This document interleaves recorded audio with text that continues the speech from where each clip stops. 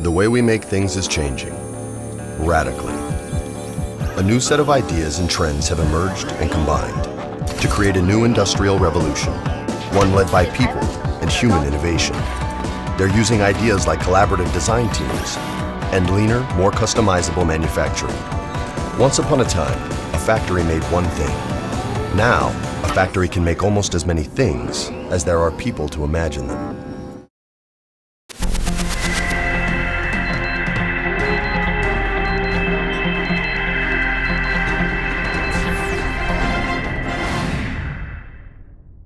From Creamer Media in Johannesburg, this is the Real Economy Report. Likely to soon become a familiar brand in the city of Rustenburg, the northwest based Metropole has, some three years after first announcing its integrated public transport strategy, officially launched the name and logo of its developing 7 billion rand integrated rapid transport system, now dubbed Yarona. Natalie Greve travelled to the Platinum Belt to find out more. The first phase of the Rustenburg Rapid Transport, or RRT project, will officially launch in 2016 under the brand name Yarona, a Setswana word meaning it is ours. The network would be anchored by two trunk corridors from which various feeder routes would emanate, ultimately linking the bulk of the city's industrial, commercial, and residential hubs. The total system will, once completed in 2022, service 80% of the 3,500 square kilometre municipality, offering public transport services to some 200,000 commuters a day. Phase 1 would see the 412 million rand completion of dedicated BRT lanes and stations along Corridor A, or the R104, which would be extended to include additional taxi laybys and pedestrian paths. Rustenburg Executive Mayor Mpho Khunou told Engineering News Online that the launch of Yarona was a step towards Rustenburg becoming a world-class city. Integrated transport system, which we are now calling Yarona, is extremely important in the overall context of the vision of Rustenburg, where we would like to go as Rustenburg. Rustenburg would like to become a world-class city, and you can't become a world-class city if you don't have an integrated transport system. It is our flagship project, uh, but it's also a project which is not important in the context of transport. It is a project which is important in the context of uh, economic development, in, in, the context of diversification of the local economy, in terms of uh, creating jobs, in terms of empowerment of local SMEs, in terms of uh, rejuvenation of, of the CBD, um, so, so certainly it is a project that will uh, change the face of, uh, of, of Rustenburg. The orange and green Yarona logo was designed to represent the relationship between the commuter and movement and had garnered support from the general public as well as from various bus and taxi associations in the city with whom negotiations to formalize contractual arrangements to operate the Yarona bus services were ongoing. Procurement of the buses for the BRT portion of the network would be managed by the project's bus operating company, which was formed on behalf of the affected taxi and bus industry. The Rustenburg municipality and affected taxi and bus operators, represented by the Taxi Negotiating Forum, or the TNF, had regularly gathered around the negotiating table since 2011 to discuss the absorption of the city's taxi and bus operators into the network. TNF chairperson Herman Sebego told a post launch media briefing that the industry was initially unsure how it should respond to the announcement of an integrated transport system in Rustenburg, but was ultimately supportive of the project following engagements with their counterparts in Johannesburg and Cape Town, who had been incorporated into similar transport networks. This was a new thing completely to us. Um, the fear was there.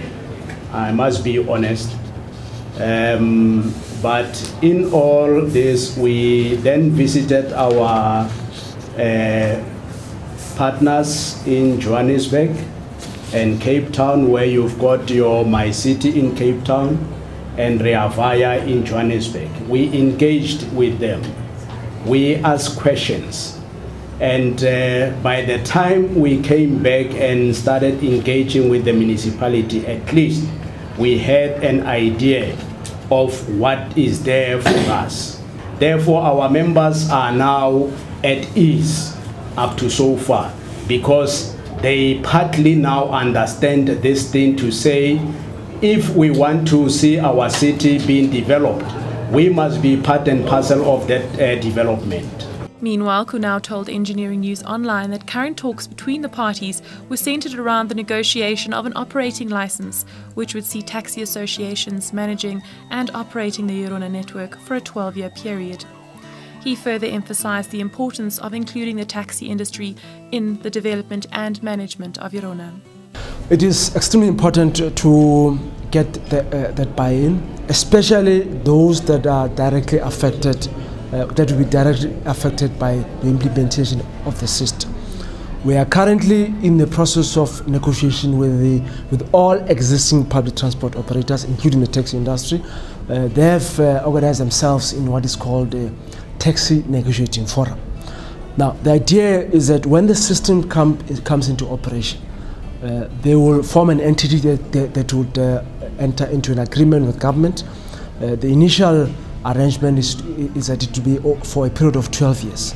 So they will actually run the system, uh, obviously guided by the agreement that will be in place between that entity and Rustenburg Communist Party. So uh, you, you therefore can't deliver on the system without getting their, their active involvement. We've been uh, quite pleased so far that we have not had the, some of the difficulties that uh, you know, Joburg or, or, or, Cape Town would have experienced initially. We have uh, learned valuable lessons from them. So they have been fully supportive from start uh, and, and, throughout implementation. And we expect that the negotiation process itself will be quite smooth. Uh, they remain enthusiastic, they remain eager to have the system in operation. First phase thereof in 2016 and the final phase uh, in terms of the initial planning in 2022 pipe manufacturer Southern Pipeline Contractors recently moved into the manufacturing of high-density polyethylene or HDPE pipes, having invested 70 million rand into a new factory in the East Rand. Leandi Kolver tells us more. At this new factory, SPC will be able to produce about 15 kilometers a day of HDPE piping for sewage, stormwater, drainage, and cable protection applications. SPC GM Louis Xavier Havard discusses the reasons behind establishing this new factory and tells us more about what will be done there. Yes, because because of the of the let's say a European experience.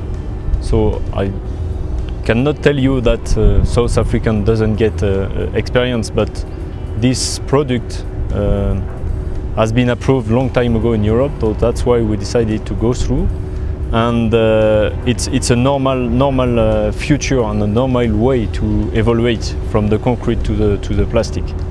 So we started to install the machine eight months ago, and uh, we did the startup of the machine. So we pressed the button. It was on the 28th of August this year. We are going to manufacture uh, cable protection from the 775 uh, millimeters to the 160 uh, for telecom and electrical protection, and then for the sewage and the, the, the stormwater from uh, 200 millimeters to 450. SPC also pointed out that there were various advantages associated with using HDPE pipes as opposed to concrete piping, including aspects such as being more environmentally friendly.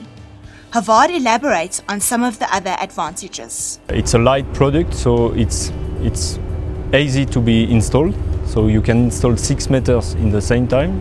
It's very light compared to a, a, concrete uh, uh, pipe. If you compare a 300 millimeters diameter, uh, two two and a half meters of concrete is 300 kilos. So for the plastic, it's only 60 kilos for six meters. So that is one of the advantage, and and the the, the resistance is the same and it's labor intensive as well because for the concrete you must have uh, heavy equipment but for the plastic you, you just need one or two people.